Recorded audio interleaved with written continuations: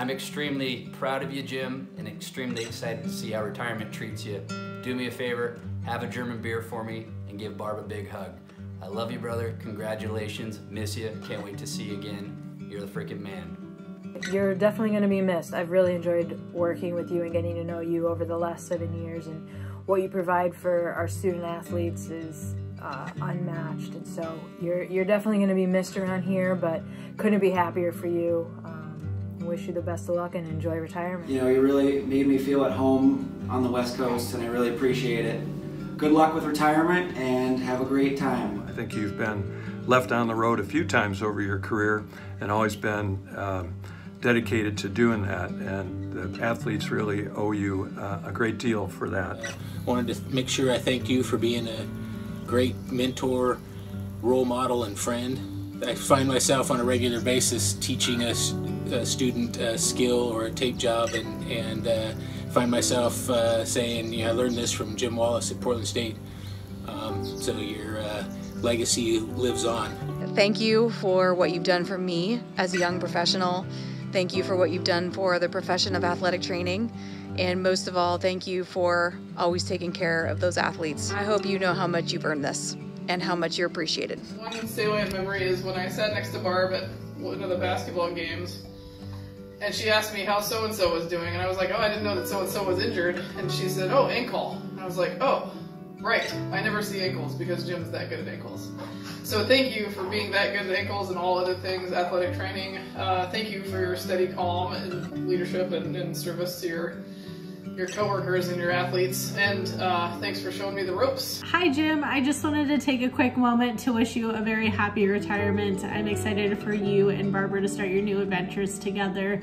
I wanted to thank you for your continued commitment to the athletic training community um, in Portland State. I would not, as many other athletic trainers, be here without you.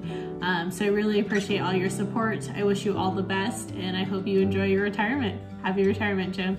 Thanks for everything you did for PSU, uh, for all of your staff uh, that you've taken care of for that long, all the student athletes, uh, the things you did for the community, for athletic training, uh, and medicine in general. Uh, you are a legend and you will always be a legend. I wish you and Barb all the best in retirement. You deserve it. Have fun. You're going to be greatly missed at Portland State. And I know that I've gained lifelong friends with you and your family.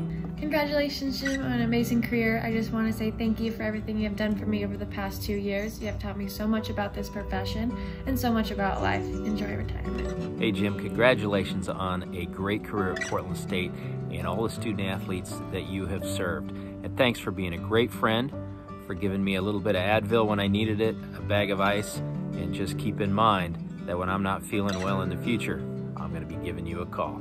Enjoy your retirement. You taught me more about athletic training than I ever imagined. If I haven't said it before, thank you for the confidence and guiding me through this process. First, I guess I should start by thanking you for being here. Um, I think the one thing I learned from you most in my seven years with you is that um, you really value staff meetings and that they really bring a group together and they're important to do at least once a week, if not twice a week. I just want to thank you uh, for helping me along the way, bringing me to Portland State. Uh, you always cared about my success and me as a person, and I think that was one of your, I know that's one of your strongest attributes, is that you generally care about your staff and their families and uh, their happiness. So just, I'm so happy for you. Congratulations. You and Barb get to, to ride off into the sunset literally and uh, enjoy your time in retirement. And, um, you know, you have, you've got a friend for life in me. And, um, I just hope to actually see you soon in person. I want to thank you for everything that you've done for me and for the rest of the staff and athletes at Portland State. And I just um, can't thank you enough for walking through the experience of us going through our graduate assistantship and those growing pains of making us the athletic trainers that we are now. Oh, hey Jeff. Thanks for putting me together all these years.